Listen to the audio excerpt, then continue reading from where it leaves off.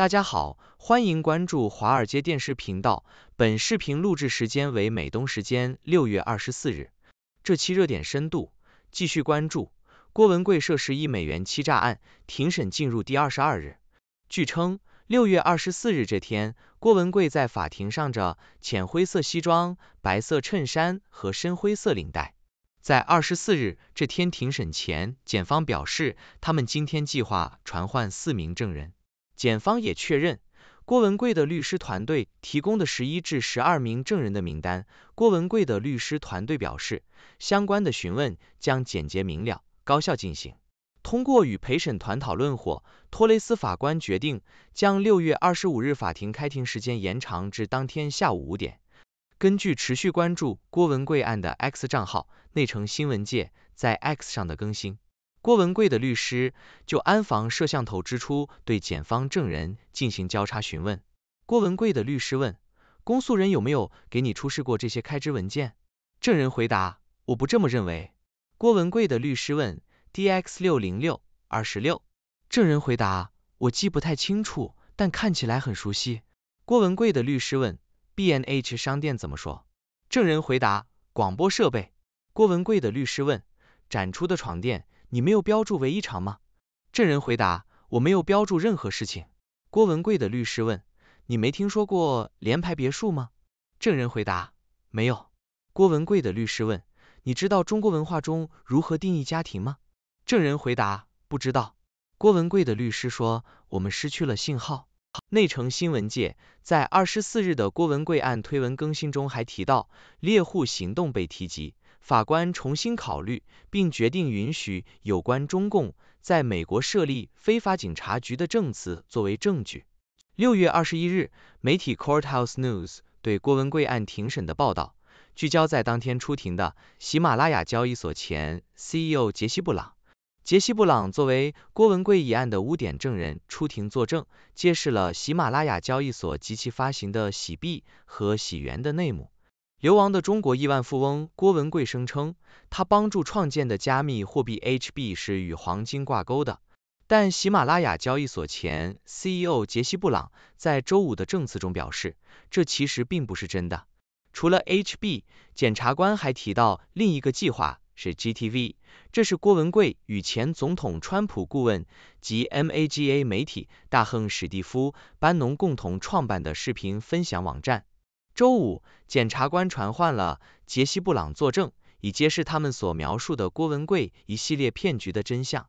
布朗最初在二零二零年被雇佣为 GTV 工作，但他很快发现自己也卷入了郭文贵的其他项目，包括洗币和洗元及其交易所喜马拉雅交易所、生活品牌 G Clubs 和时尚品牌 G Fashion。布朗表示，他被告知要开发一个只交易洗币的加密货币交易所——喜马拉雅交易所。尽管他参与了郭文贵的多个项目，但布朗强调他只是郭文贵生态系统中的一个小角色。我无法控制任何事情，布朗说，这包括在喜马拉雅交易所。尽管名义上是 CEO，但布朗说他从来没有任何员工。布朗说，他在工作开始后不久。了解到一家名为 Hamilton Investment Management 的伦敦投资基金公司，这家公司也是郭文贵生态系统的一部分。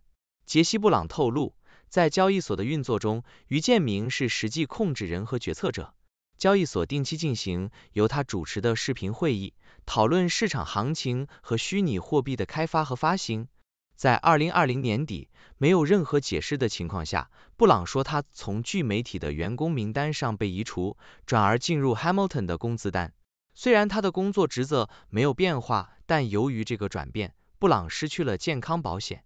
布朗透露，在 GTV Media 工作不到一年后，他被于建明告知将担任喜马拉雅交易所的 CEO。杰西·布朗说：“我只是一个技术员，也不擅长演讲。”为什么要让我来做 CEO？我非常惊讶。在从支持者那里筹集了一亿美元后，喜币在二零二一年正式发布。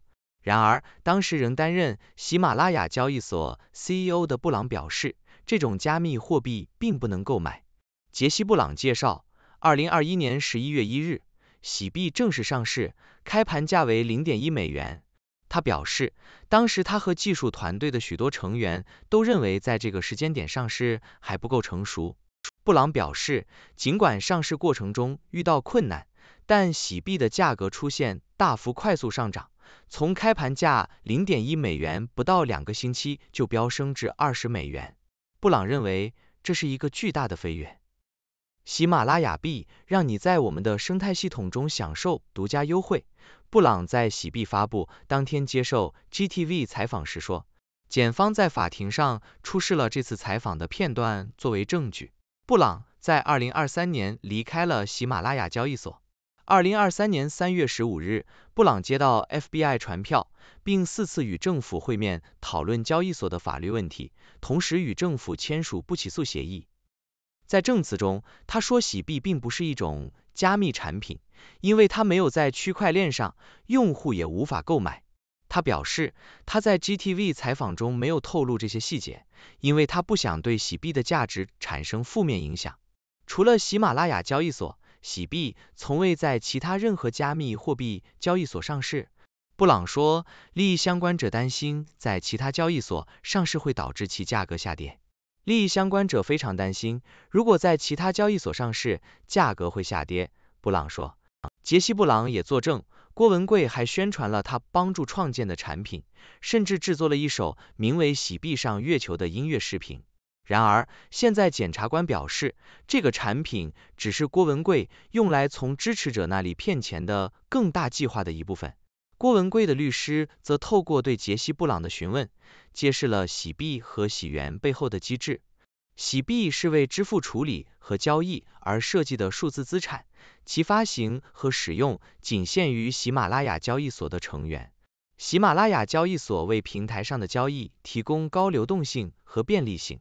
杰西·布朗表示，有别于比特币或其他知名加密货币，喜币、喜元。只能在喜马拉雅交易所交易。他指出，加密货币的一个特征是去中心化，因此是公开透明的。然而，喜币和喜元并非传统意义上的加密货币，它们并不使用区块链技术，而是一种中心化的信用积分系统。因此，喜币和喜元既不是在公共链，也不是在私有链。无法在其他交易所进行交易。同时，布朗也指出，喜币、喜元的投资者担心其在其他区块链上交易会导致价值下降，因为这些交易所可能不认可喜币和喜元的价值。郭文贵的律师通过展示喜马拉雅交易所的四个发展阶段，试图展示该交易所从短期信用系统向长期加密系统的逐步转变过程，从而试图对布朗以及检方对交易所以及洗币和洗元性质的质疑作出回应。好了，以上就是今天热点深度所有内容，更多资讯可以关注六度简报网站，网址是六 dobrief 点 com。在上面，各位可以订阅各类符合您喜好的简报新闻，有免费套餐，也有更加专业的付费套餐供大家选择。今天的视频就到这里，我们下个视频再见。